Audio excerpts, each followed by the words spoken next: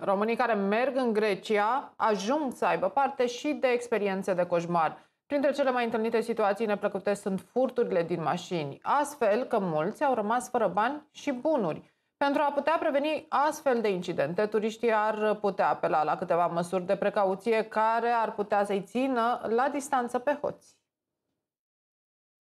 Vedem în Tasos că au fost anul acesta, în ultima lună, între 5 și 10 cazuri în care uh, închiderea centralizată a anumitor mărci de autovehicule a fost blocată, astfel încât turistul a crezut că a blocat ușa și că a închis uh, ușile uh, mașinii și s-a dus pe plajă liniștit. Însă, uh, dispozitive de bruiaj au Uh, făcut ca ușa să nu se închidă și atunci hoții s-au dus și au furat din mașini. Spre deosebire de anii trecuți, nu au mai furat lucruri cum ar fi telefoane sau laptopuri și să fie prinși. Anul acesta, ca o glumă, sunt mai educați un pic și fură doar bani.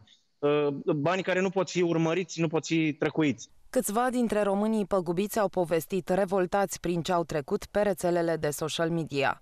Pentru a evita astfel de incidente neplăcute pe timpul vacanței, oamenii sunt sfătuiți să-și ia măsuri de precauție și să fie atenți unde își lasă mașinile în parcare. Sunt uh, trei sfaturi mari pe care le pot da în acest moment. Odată este ca turistul să nu își lase obiecte de valoare în mașină la vedere. Pentru că la plajele mai cunoscute sunt parcări mai mari și atunci, chiar dacă ar fi camere de supraveghere în zona beach barurilor, ele nu pot să bată până în spate. Al doilea sfat este să verificați ușile că sunt închise.